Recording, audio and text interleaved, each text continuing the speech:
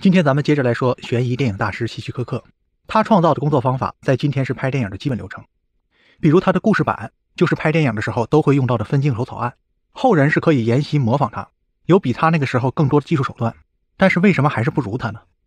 我的猜测是不只是天赋上的差距，因为他的方法是从他特殊的心理问题里产生的，这就像是自然界里的物种会把自身的限制条件转换成安身立命的生存方式。所以，我今天和你说一说希区柯克这个人的问题是什么。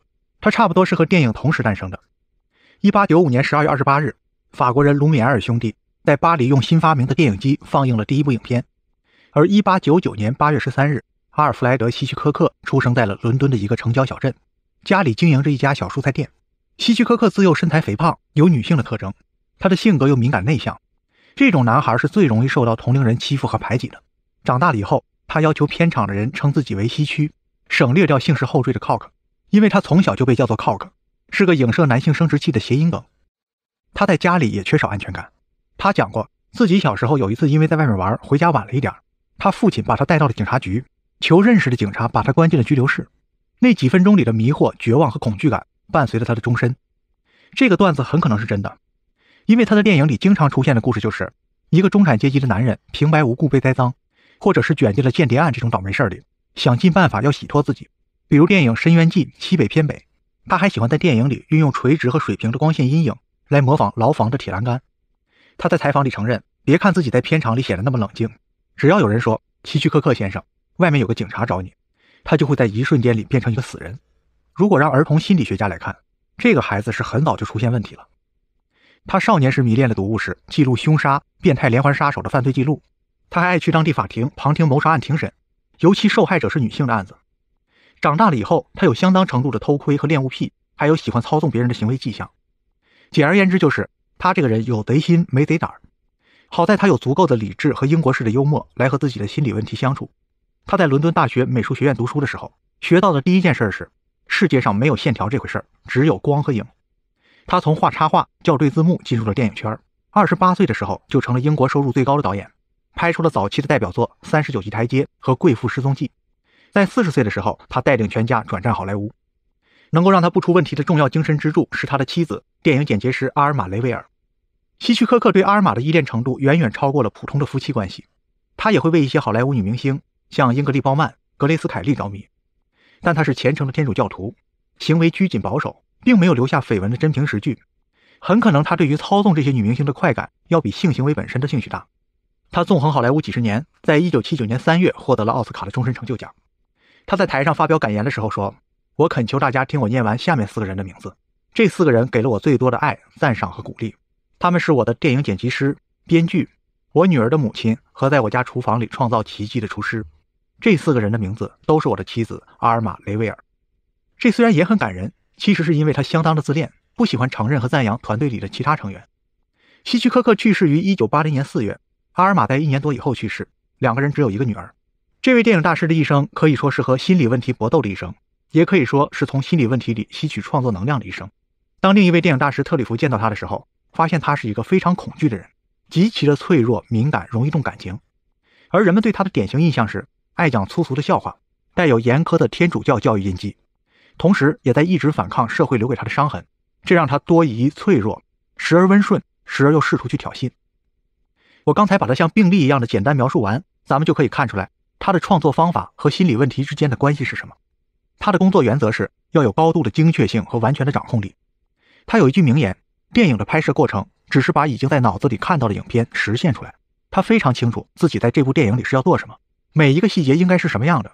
和助手们过剧本的时候，每一段文字都要变成完整的画面，把各个镜头的摄像机角度、机位、场景设计都提前画在素描本上。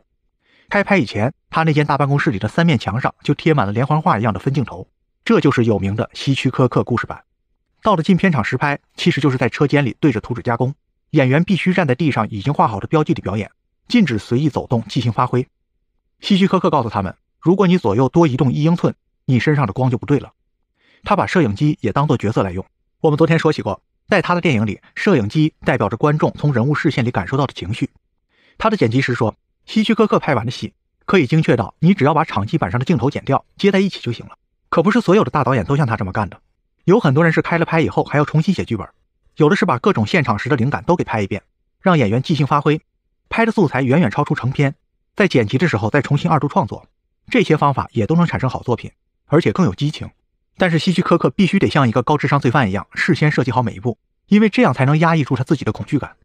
他要求片场必须绝对的安静和整洁，所有的细节都要完全可控。他的女儿说：“只要事情有一点不照计划来，他就会犯严重的偏头疼。”另外，事先把所有的环节都设计好，让别人很难插手，也可以让他这种既自恋又缺少强势性格的人保持主动，排除掉他人对自己的操控和影响。他的自恋有一个众所周知的特征，从他的第三部电影《房客》开始，他几乎在每一部电影里都要客串出场几秒钟。他一开始解释这是群演的人手不够。但是这个习惯保持了五十年，五十部电影以后就很明显了。他就是希望让人知道他的存在，还要让大家感到他才是那个决定了所有人能够看到什么的人。不过他也很清醒，他每一次都是在电影的前五分钟里露面，以免让观众因为找他而分心。他的电影无论情节多紧张，都有一种含蓄、意味深长的幽默感，这在悬疑犯罪电影里是一种很可贵的品质，也可以说是一种方法。我们昨天说，悬念并不是在推理过程里产生的，而是一种综合的情绪本能。希区柯克的悬疑电影经得起反复看，和他每个镜头的精雕细刻、意味深长以及幽默感是有直接关系的。在沉重的主题里加进喜剧情节和台词，是一种心理暗示，观众能够感觉出来这部片子是娱乐性的，不至于像那种一黑到底的电影留下严重的心理阴影。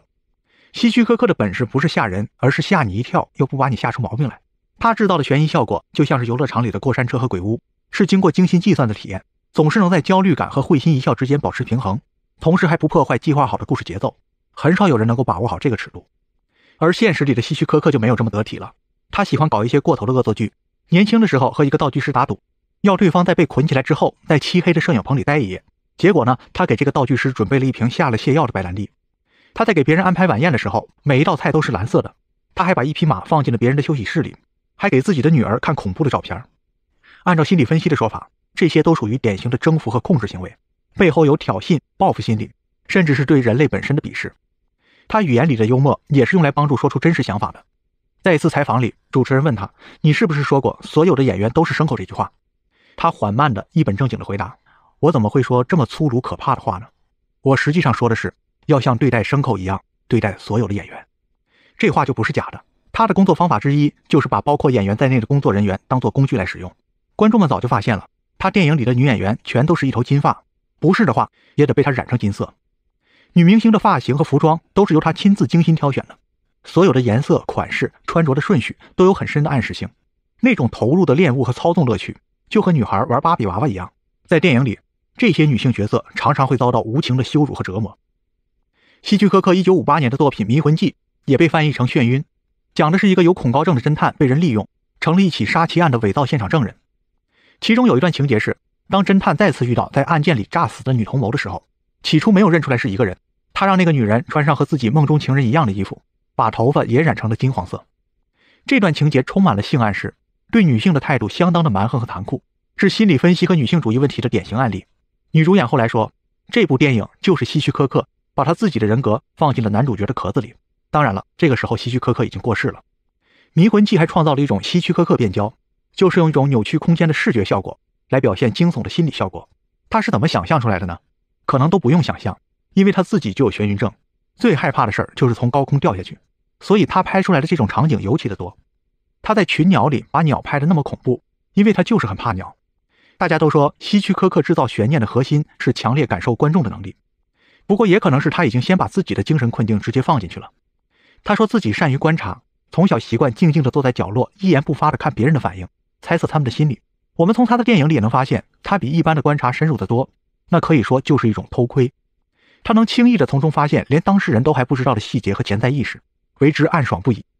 偷窥和跟踪也是他最爱拍的电影情节，拍起来是那么精细，那么富于节奏感，那么兴致勃勃。今天看他的那些心理问题，好像全都是为了拍悬疑片而准备的。在别人是需要学习的，而在于他则是难以摆脱的。可是这个世界上又有多少人算得上是完全正常呢？另外一个时时处处都正常的人，又是多么的乏味和无趣呢？我们今天聊的是一个启发：与其压抑自己的性格缺陷，身心疲惫的假装正常，有没有可能把它转化成自己的独家方法，做成一些有正向价值的事儿？明天呢，我们来聊希区柯克创作中那些更客观、更普遍的方法。